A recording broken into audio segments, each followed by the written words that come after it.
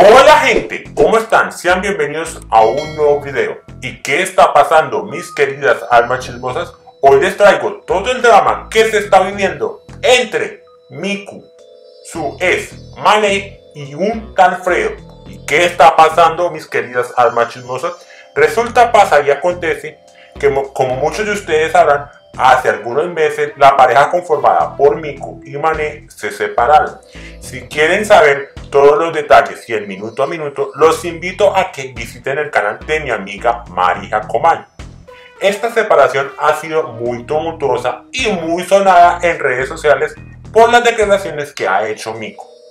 En días pasados, la expareja de Miku, Mane, hizo un comunicado donde le solicitaba a un tal Fredo que le diera espacio en su podcast para contar su versión de la historia. A continuación les voy a dejar el comunicado que hizo Mane y lo pueden leer ustedes mismos.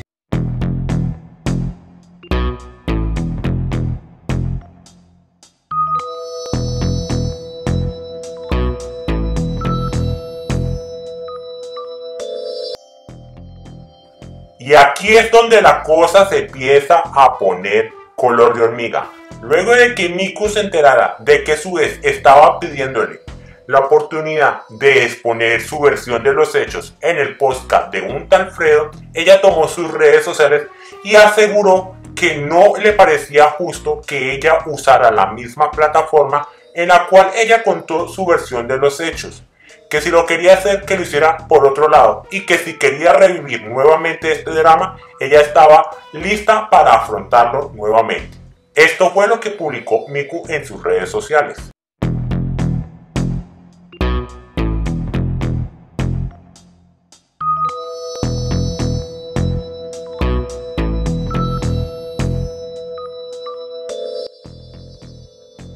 Por su parte, un tal Fredo, que fue la persona de entrevistar a Miku cuando dio su versión de los hechos de todo lo que sucedió con su ex Mané, le hizo algo de suspenso para dar su respuesta si aceptaba darle espacio a Mané en su podcast o no.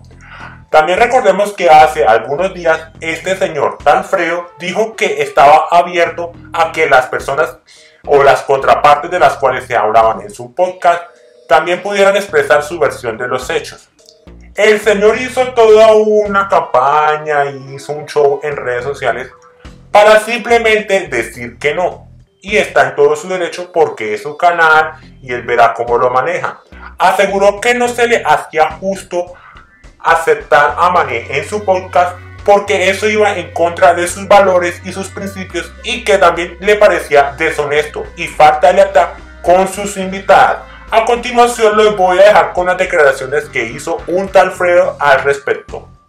El ex de una de mis invitadas quiere que lo invite a mi podcast a dar su versión de la historia y este video es mi respuesta para él. Quiero empezar partiendo del hecho de que mi podcast es solo eso, un podcast. Dos personas siendo grabadas mientras platican del amor, de la vida, de la familia, etc. No es un programa de gobierno, no es un programa de activismo. Yo no soy activista, yo ni siquiera estudié comunicación para eso la entrevista. Yo soy mercadólogo, soy creador de contenido y decidí que un nuevo formato de creación de contenido era yo chismear con personas en video. Escuchen todo, escuchen para entender, no para responder el porqué de mi decisión que acabo de tomar con respecto a lo que este chico solicita. Yo creo firmemente en que cada historia tiene dos versiones y que cada parte es dueño de la suya y puede salir a platicarla cuando quiera. Y es por eso que también creo que las personas de las que salen mi podcast, por más que nunca se mencionan nombres ni se da como señales de quién es, tienen el derecho de salir a contar su versión de los hechos. Pero no considero que mi podcast sea el espacio correcto para que esas personas vayan a contar su versión. Iniciando con que no se me hace correcto para mis invitadas a quienes estimo y con cuyas historias empatizo, no me puedo imaginar el que ellas hayan venido con el corazón abierto a contar una parte más vulnerable de su vida y que yo le permita a la persona que la contar la otra versión contando cosas que le puedan hacer daño. Por su parte, Miku el día de ayer hizo un live donde reaccionó y dejó ver su descontento con la petición que hizo su ex Mané. Aseguró que él tenía muchas maneras de poder contar su versión de los hechos, pero que se le hacía injusto que lo hiciera en el mismo lugar y con la misma persona que ella hizo. Aseguró que él no tuvo empatía presuntamente y supuestamente cuando sucedió todo lo de la separación y que ella se encontraba en, en un estado de salud delicado. Ahora parece que Mané es el que se encuentra en un estado de salud delicado y también Miko dijo que presuntamente y supuestamente Mané hacía esto y revivía este drama para obtener más vistas y tráfico en sus redes sociales. A continuación los voy a dejar con las declaraciones que hizo Miku al respecto del pedido que le hizo su España a un tal Fredo para que lo dejara participar en su podcast. Y eso, el comunicado de él pidiendo réplica en un tal Fredo, ¿lo saben? Iba así de, ¿por qué con la persona con la que yo fui? ¿No? O sea, puedes ir a dar tu réplica con cualquier persona. Entonces yo dije, ¿por qué tienes que ir con la misma persona? Puedes ir con otra persona. Puedes ir a otro podcast. Puedes hacer un video en tu canal. Ya pasaron meses, ¿no? Podrías hablar en tu tiempo, en tu forma. Se ve que tú también quieres seguir en el tema. Pues claro que voy a seguir en el tema, güey. Es mi vida. No mames. O sea, ve lo que ahorita estoy haciendo. ¿Sabes lo que pude haberme comprado y lo que pude haber construido en ese tiempo? O sea, obviamente es algo que si a mí me tocan, me prendo. Ajá. Es, es un tema que marcó muchísimos años de mi vida.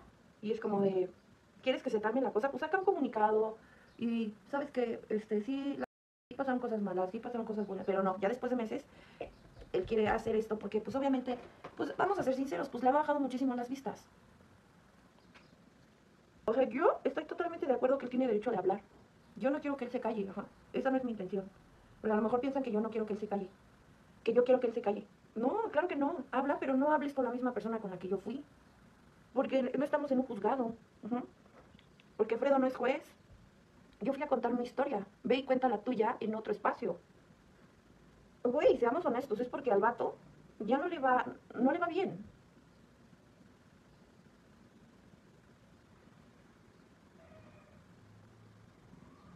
Cada quien cosecha lo que siembra. Y yo sembré esto, ¿saben? Mi trabajo, por eso puse ayer en, mi grupo de difusión, lo que, lo que por derecho es mío. Porque yo estoy cosechando las cosas que yo sembré. Mi trabajo, mi esfuerzo, mis estudios, eso nadie me lo va a poder quitar porque llevo años, años construyéndolo. Y él desgraciadamente pues no construyó nada. Entonces todo lo que tenías, todo tu éxito, era en base a la relación. Es la verdad. Era el canal de mi Mane. Y ahora que no lo tienes, ¿qué? Ya no puedes facturar. Ah, pues, mira, la mejor recomendación que yo te puedo dar. Ay, sí, yo, bien pinche, no mames. Es que se lo dije en, en un live. Haz tus, haz tus videos de comida, eres muy bueno en eso. Haz tus recetas. Acepta que la... Acepta tus errores.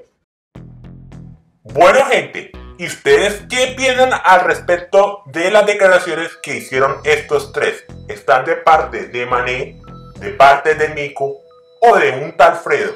Yo quiero saber sus opiniones en la zona de comentarios. Cualquier actualización respecto a este tema, yo trataré de mantenerlos informados. Yo me despido de ustedes sin antes decirles que por favor me regalen un like si quieren también compartir este video para que llegue a muchas más personas chismosas y yo me despido de ustedes sin antes decirles muchas gracias por ver y será hasta una próxima ocasión.